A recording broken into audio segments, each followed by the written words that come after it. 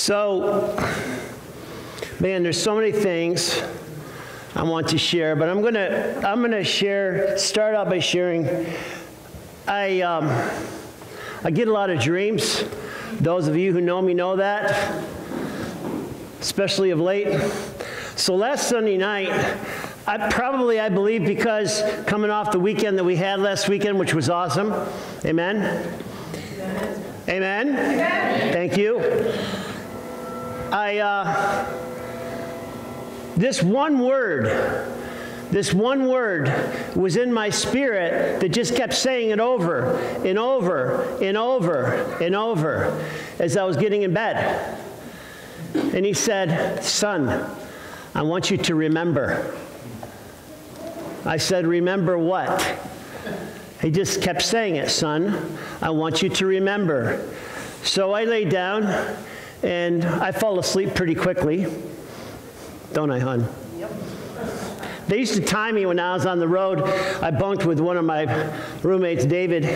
He said it takes somewhere between three to five seconds for Steve to fall asleep. Sorry for all those of you it takes an hour to fall asleep. I just, I'm made differently. Blessing of God. It's the blessing of God. I fall asleep quick. So I, I do get up quick. So I was having this dream and I was having a conversation with the Lord, and He said, Son, I'm causing you to remember. I'm causing you to remember. So I started thinking about a lot of really cool memories I had as a child that we all have. I was thinking about and remembering all the things that I could remember that had something to do with what I thought he was saying to me in the dream. And he said, Son, do you remember when your mom used to quote you scriptures running to the school bus? I said, I do remember those scriptures. I do remember those scriptures. Now, I was single digits 7, 8, 9, 10, 11, 12. And yeah, I went up into the teens. So, anyway, so many scriptures, a lot of Psalms. And at that time, I remember I told you I gave my heart to Christ when I was five on my grandmother's lap, but then I fell away through my teenage years. But what God was causing me to remember was even though I was not in a good place, those scriptures were still permeating my spirit as a young boy. And he caused me to remember those scriptures when I rededicated my life to him when I was a late teen. You understand what I'm saying? They all just came alive. Like I've been reading my, my whole life or something, which I had not. I had not. I just heard them. The Bible says, He who has an ear, let him hear what the Spirit says, right? So he was ministering to me through my mother, through my grandmother. You've heard me tell these stories. So I was remembering those things in this dream. And he said, Son, there's, there's some that remember that don't have good remembers. What about those? There's things we remember that we don't want to remember. Hmm. No one knows what I'm talking about. So I started writing down some scriptures. And I'm just going to start reading some of them off to you. Hebrews 8:12 in the ESV. For I will be merciful toward their iniquities, and I will remember their sins no more no more. Some of us have to deal with memories in our past that are somewhat painful. And the Lord is saying, I will take them from you if you give them to me, so that you will remember them no more, as I have remembered them no more.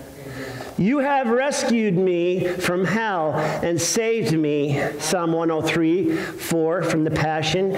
You've rescued me from hell and saved my life. You've crowned me with love and with mercy. Psalm 103, 12. Farther from a sunrise to a sunset, that's how far you've removed our guilt from us. There's a deliverance that comes from remembering for us that are in the Lord.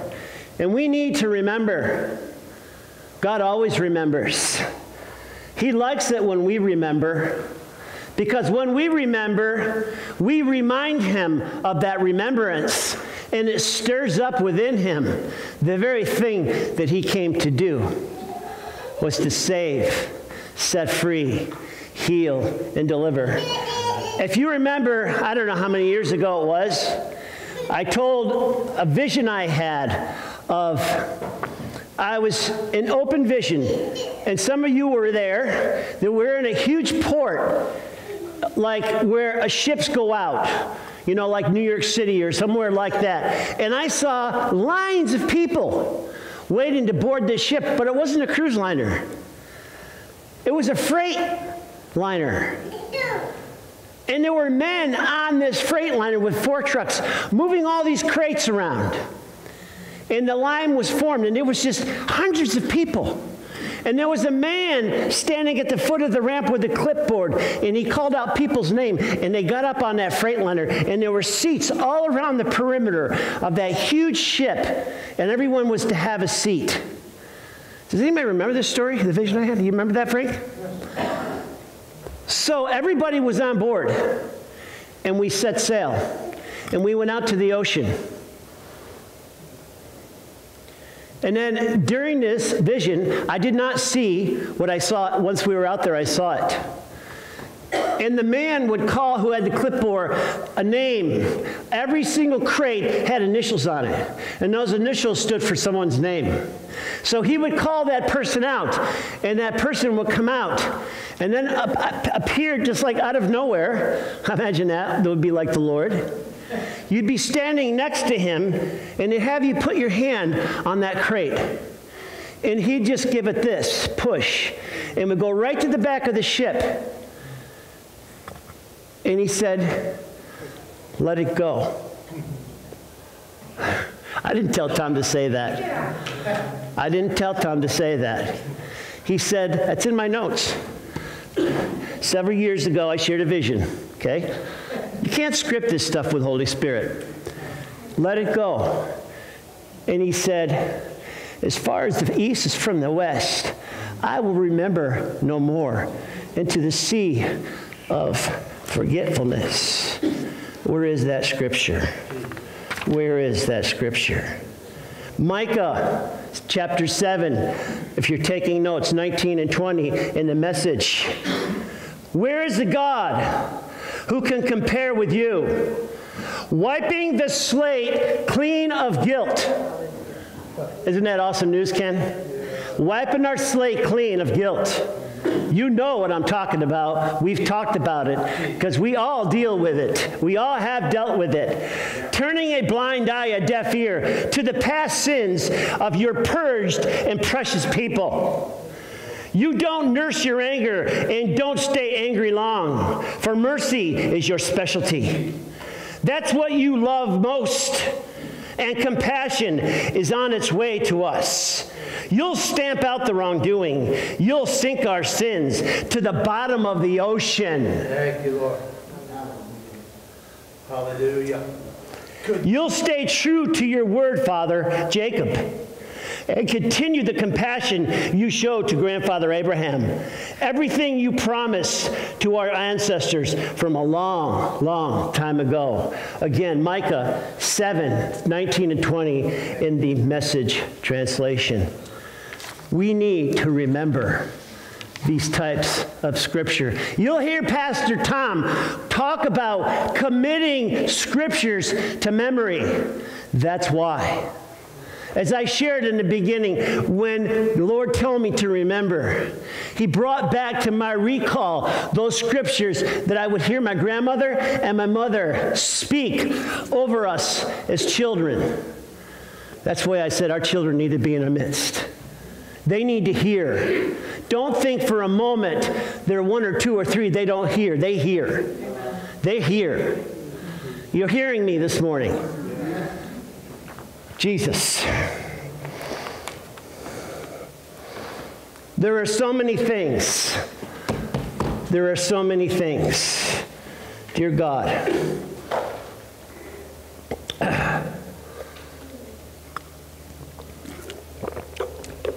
Tom looked at me this morning and he said, Is your spirit okay? I said, Yeah. He said, You sure? I said, Yeah. I said, It's been a week of a lot of resistance because we're in that time. And just me preparing this word, Marge and I have been battling. I spent Friday in the hospital getting x rays of my chest again. I went into a coughing spell Thursday afternoon that was uncontrollable. And it hurt. And it hurt to breathe. And I had no wind. But after having done all, I stand. See, there are times that things happen to us that we need to recognize where they come from. I recognize those things as an attack because I'm here to deliver a message to you. There are things that happen to us as an attack. But I'm going to talk about those things, and I'm going to talk about things that happen because of what we have before us here the table of the Lord. Why did I put it out here today? Because I want you to remember. Because what did he say? Do this in remembrance of me.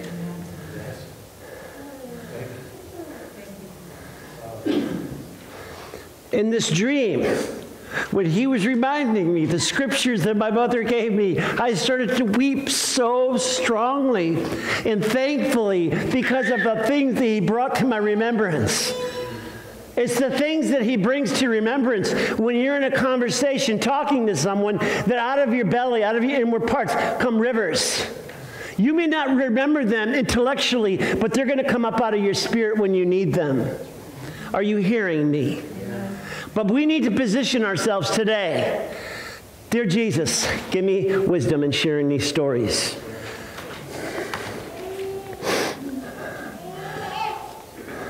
We're living in a time, I believe, that God is cleaning the house. Yeah. Amen? He's cleaning the house. I have a dear friend, I'm related to her through marriage. And um, we keep in contact. She lives several states away. No names are going to be given. You don't need to know names. I'm just going to tell you something she sent to me. Of a visiting minister, an evangelist slash apostle. Some of you might know his name, but I'm not going to use it because this doesn't matter. So the story goes, and I saw the video clip. He was invited to a church that some of the people were asking and crying out for revival. So he comes in where the Lord of the Lord and is ministering in the house. And there time came time to minister after he delivered the word, and it was pastor on the stage and this man on the stage. And they started to pray. And there were people that were just entering into worship, putting up their hands and worshiping God. And there was this lady two rows back who started to speak in tongues. And he said, Normally, when I hear that, my spirit goes like this. But in, this is the, the guest speaker saying this, okay? But instead, my spirit did this.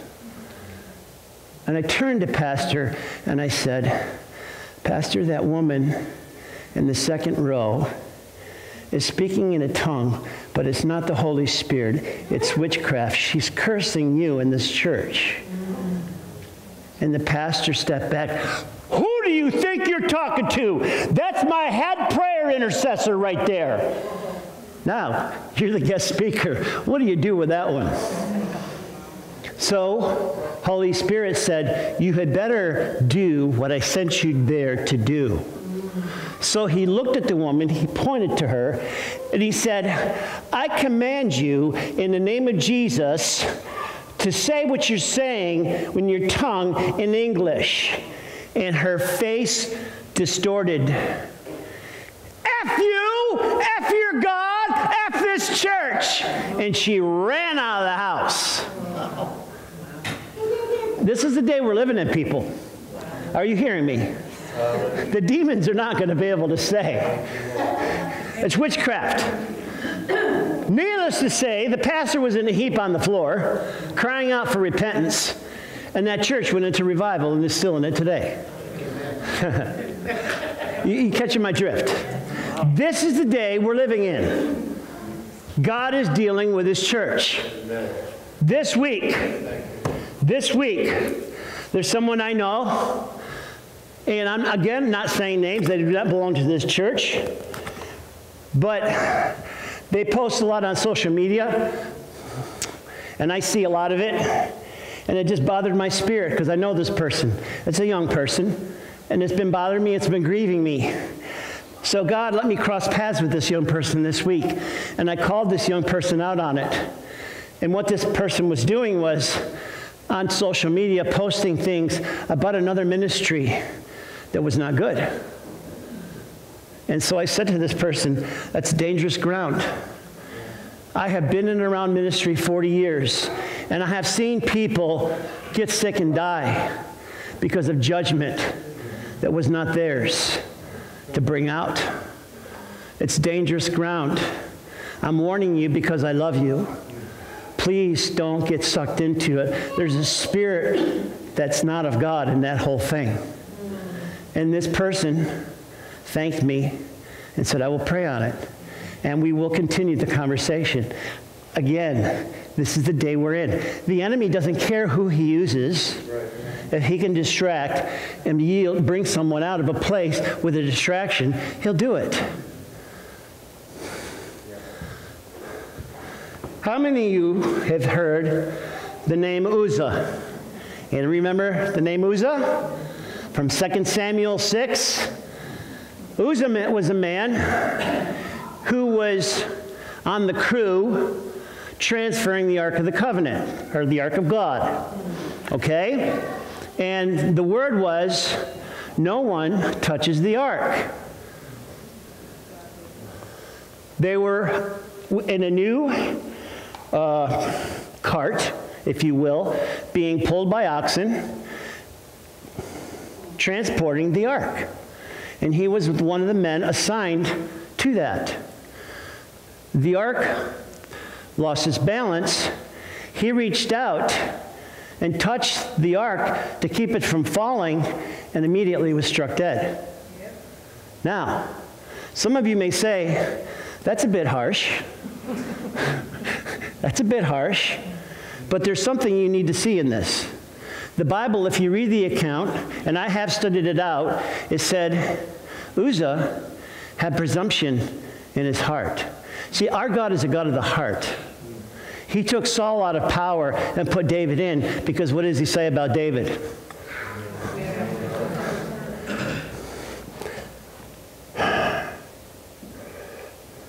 Acts 13 22 the New King James. And when he had removed him, Saul, he raised up from them David as king, to whom he also gave testimony and said this I have found David, the son of Jesse, a man after my own heart to do my will. That's what God's looking for in this hour. So if you read the footnotes and you do a study about Uzzah, it said he was presumptuous. So, uh, you know, again, we understand the Spirit of the Lord was upon certain people in that time, like David. When Samuel put him in and poured the oil over him, a horn of oil, it said, From that day forward, the Spirit of the Lord was upon David, not in him, upon him, because the Holy Spirit had not yet come. We have the Holy Spirit within us. We have no excuse. Uzzah was a natural man. And he said, okay, we got to move this thing again. I mean, you just think about it in the natural. He was a big guy, rugged. His job was to move this. But there's a reverence and an awe and a holiness that you didn't touch the ark. And Uzzah forgot that. He should have remembered that, and he would have been still alive. So when we come into the presence of the Lord and we partake of this table, that's why he says, Do this in remembrance of me.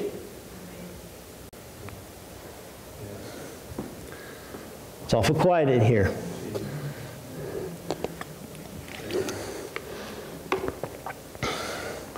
For the day comes that shall burn like an oven, and all the proud and arrogant, yes, and all that that do wickedly and all that are lawless shall be stubble.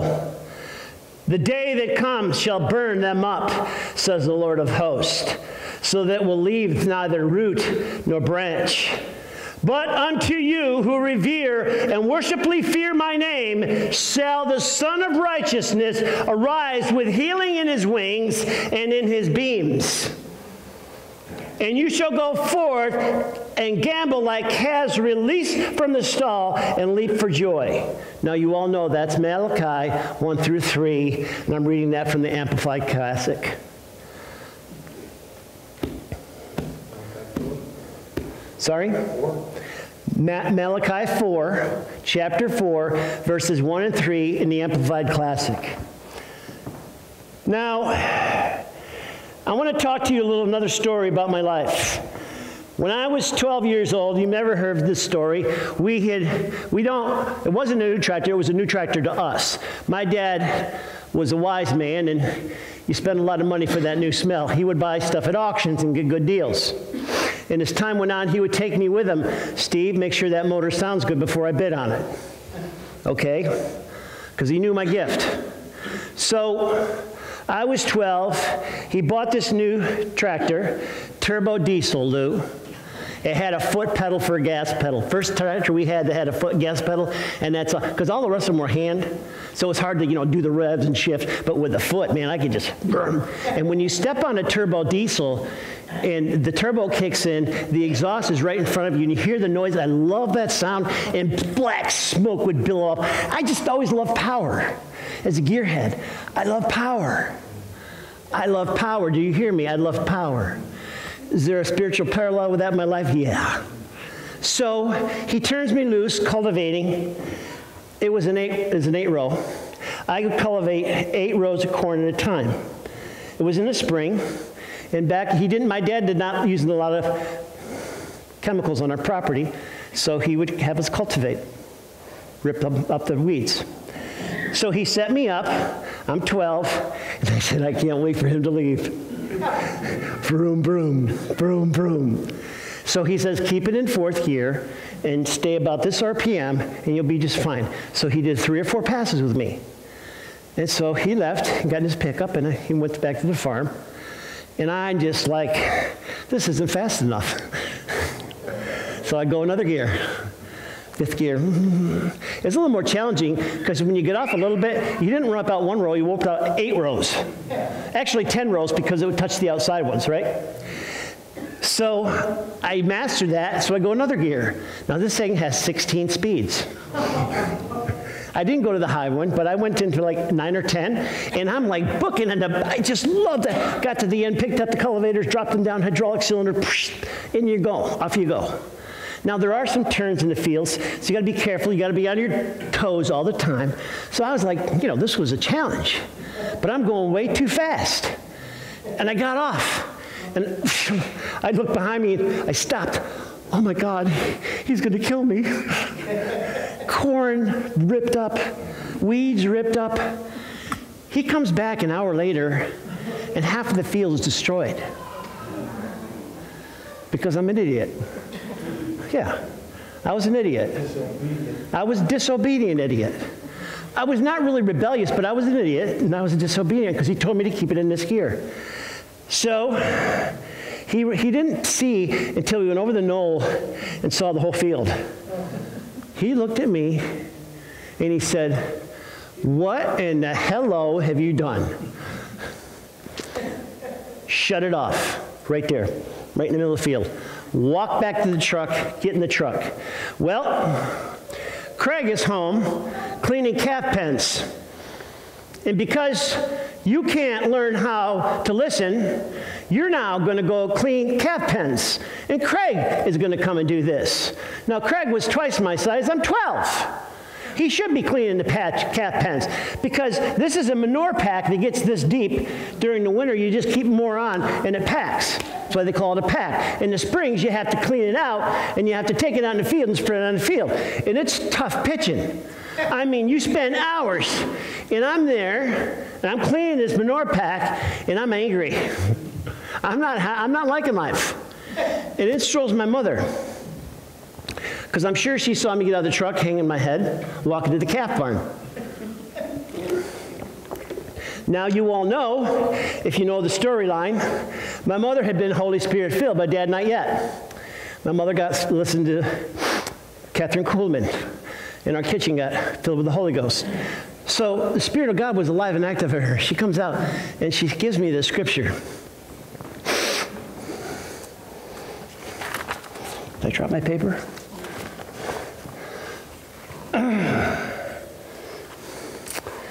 She said this Colossians 3 23. Stevie, and whatever you do, do it as heartily as unto the Lord and not to men. Because I was kind of not happy about pitching calf manure. And you know, the funny part again, I was 12. I never, ever, ever, ever forgot that scripture.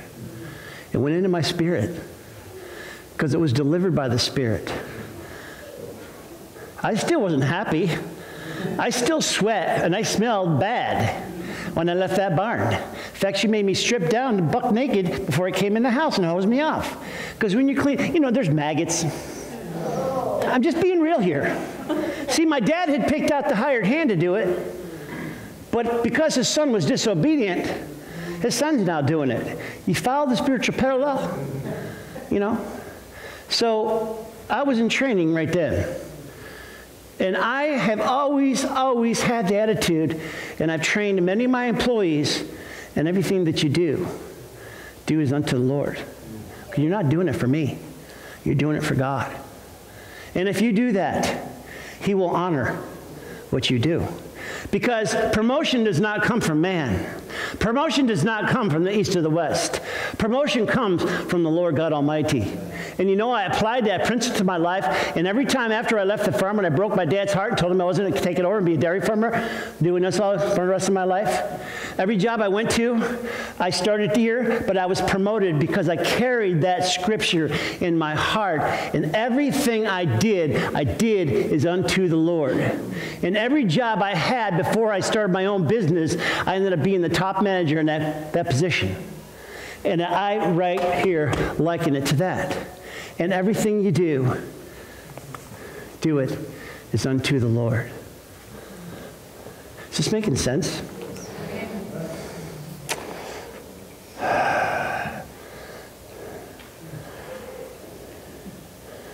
Acts 7 47, 50. Acts 7 47 through 50 in the message. And all this time, our ancestor had a tent, a shrine for true worship, made to the exact specifications God provided Moses. They had it with them as they followed Joshua when God cleared the land of pagans and still had it right down to the time of David. David was asked to, for God, asked God for a permanent place for worship. But Solomon built it.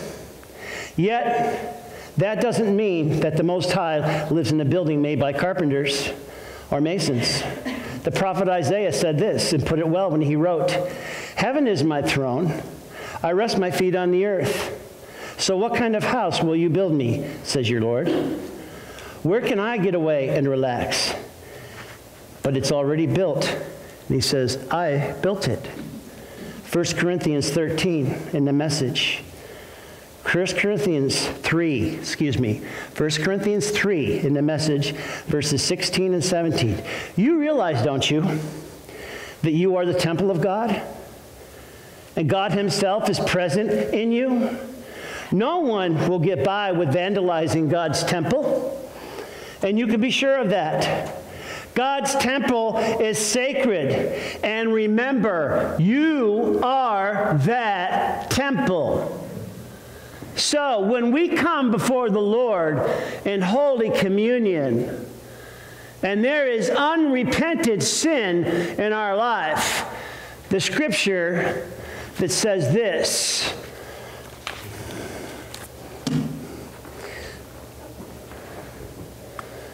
First Corinthians 11, 23 through 32 in the message. Let me go over it again with you exactly what goes on in the Lord's Supper and why it is so certainly centrally important.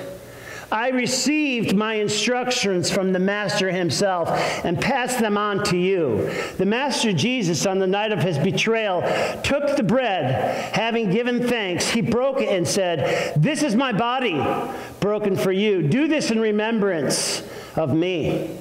And after supper, he did the same thing with the cup. This is the cup of my blood, my new covenant with you. Each time you drink of this cup, remember me. Remember me.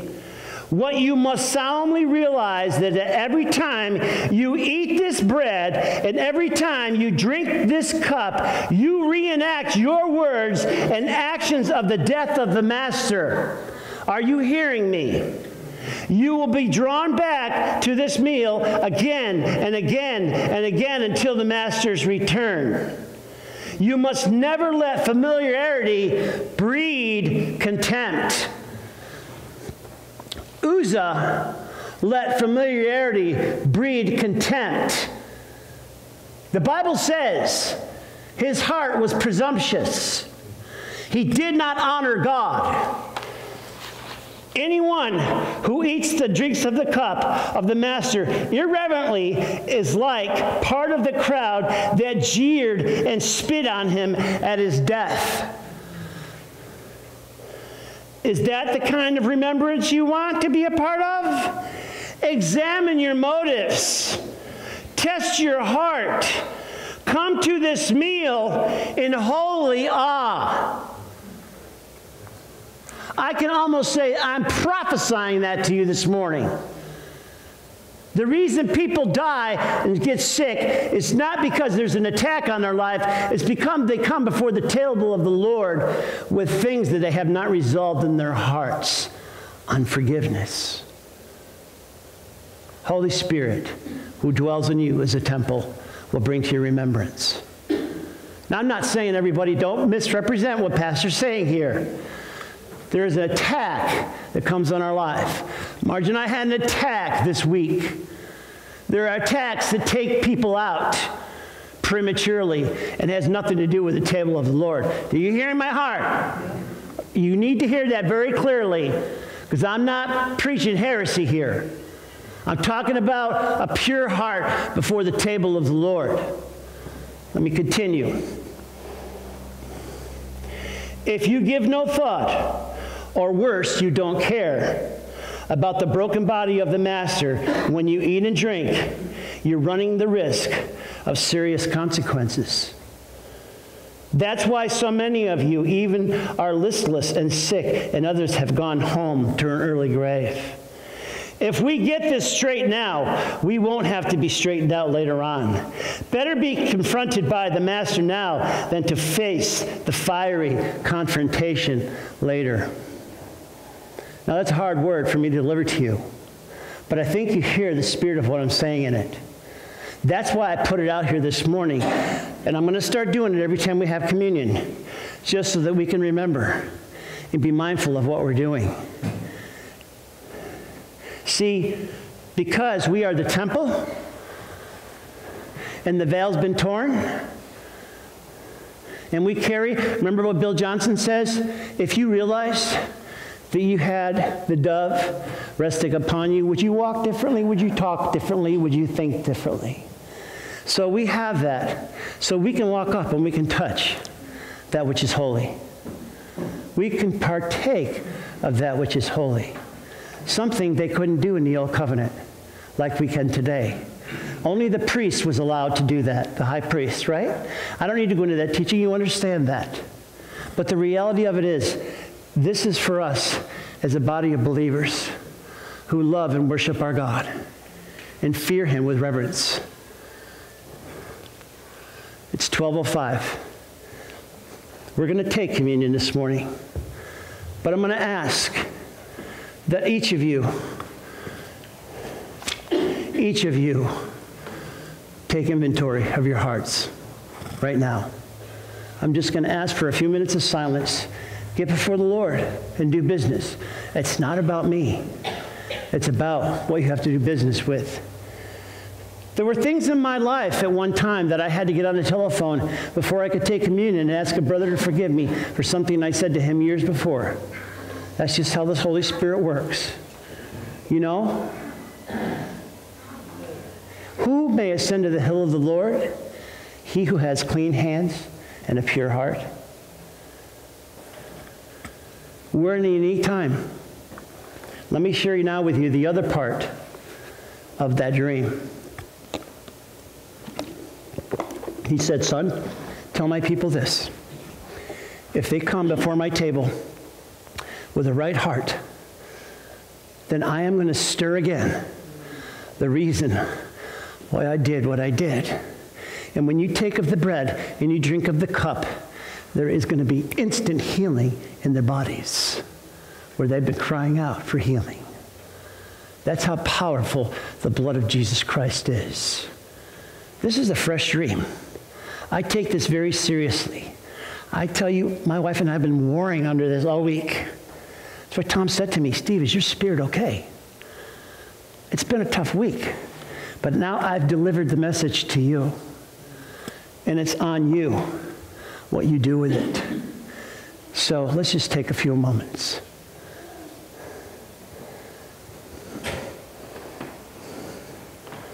Some people get uncomfortable in silence. It's good.